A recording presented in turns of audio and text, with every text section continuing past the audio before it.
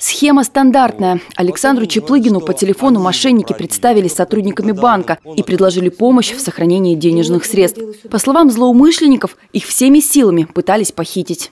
Якобы э, с моей доверенностью э, на мое фамилия, имя, отчество э, в Москве в банк пришел человек взять кредит.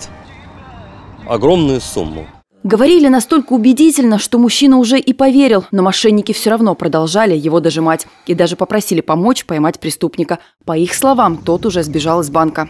Как бы я сотрудник юстиции, я а, могу общаться с вами как по федеральному закону, так и по человеческому языку, как говорится. Но я просто по данному делу проходит 24 человека, а в 14 так. случаях а, злоумышленнику удавалось завладеть денежными средствами на гражданстве. И хотя схема была отработана до мелочей, а уверенный голос мошенника не оставлял шансов, обмануть Александра не вышло. В разговор вмешался сотрудник полиции, который по счастливой случайности оказался рядом. Подошла и попросила мужчину поставить телефон на громкую связь.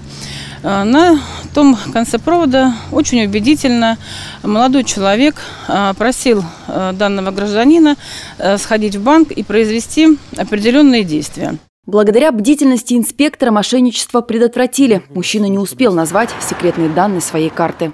После он признался, что много раз слышал предупреждения о мошенниках, но на время этого разговора заволновался и потерял бдительность. И только после того, как в их общение вмешался сотрудник полиции, понял, что ему позвонил мошенник. Ежедневно в полицию с заявлениями обращаются до 10 потерпевших от действий мошенников. Все случаи хищения денежных средств были совершены из-за доверчивости людей. Ксения Дегтярева, Александр Юров при содействии пресс-службы МВД России по Курской области. События дня.